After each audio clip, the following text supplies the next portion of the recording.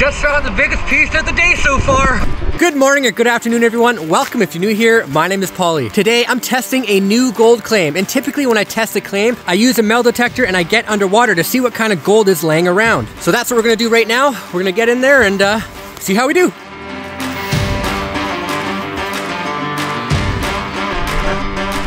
We are here.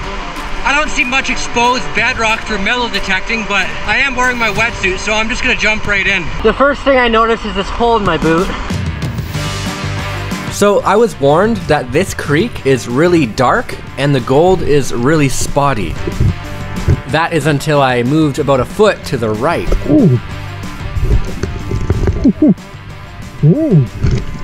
That was really fast.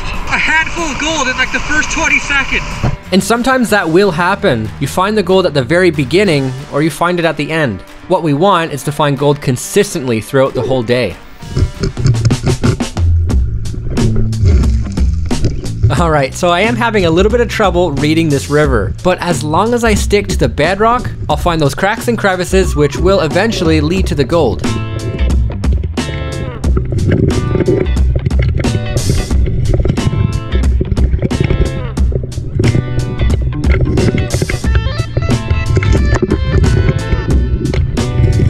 And sometimes it does take a little while to get to the bedrock.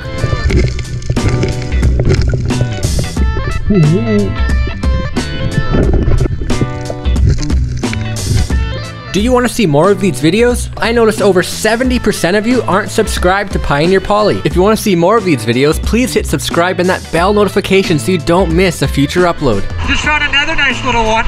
This river is dark. I tried using the flashlight, but that doesn't really help much on camera.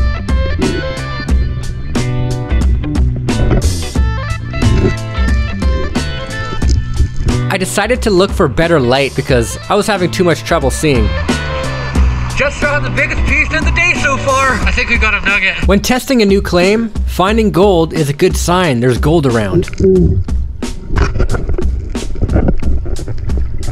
Due to what's called refraction, everything underwater looks bigger, so I tend to get really excited for pieces that I think are bigger than they are, but that doesn't matter. This is still a beautiful piece of gold.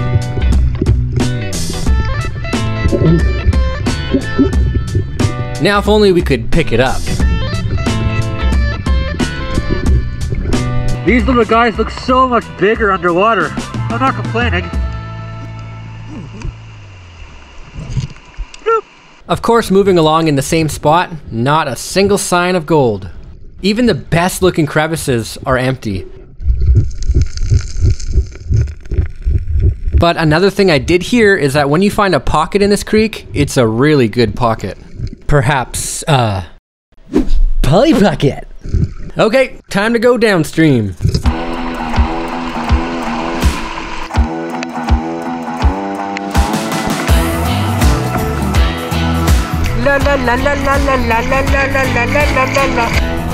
Making my way downstream, I managed to pick up a bunch of gold just laying out for me, but it's all sort of random. This creek is hard to predict. Ooh. Our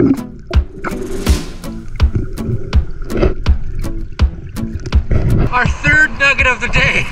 Hard to predict or not, gold is gold, and when you find bedrock, the gold is gold.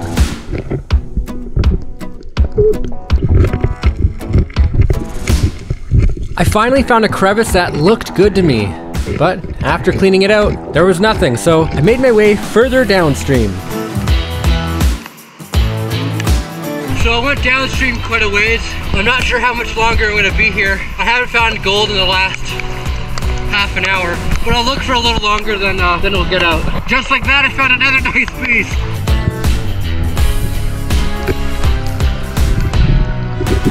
So just like a few other pieces, I had trouble picking this one up. The gold here is pretty stubborn. I found this beautiful looking crevice that must have been 10 feet long, so I spent a good 30 minutes removing rocks, removing socks, fanning the bedrock, and getting cold, but I didn't find a single piece of gold here.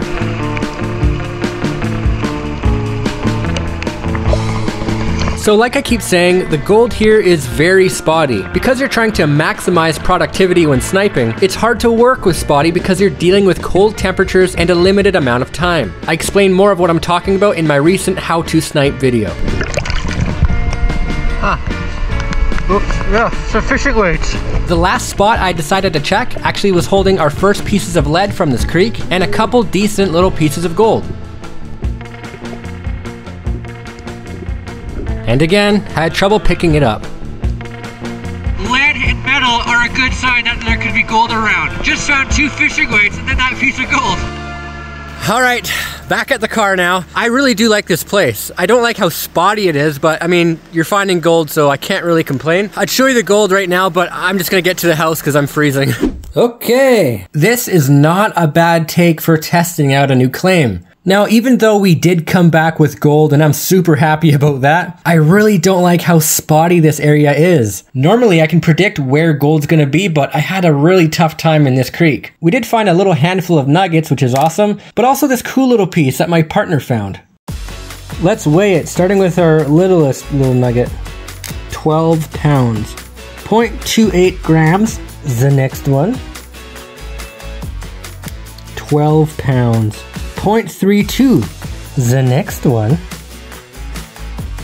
12 pounds, 0.38. So over a gram already. Now this piece, which kind of looks like a skull to me. 12 pounds, 0.67 grams. And now for our little bits.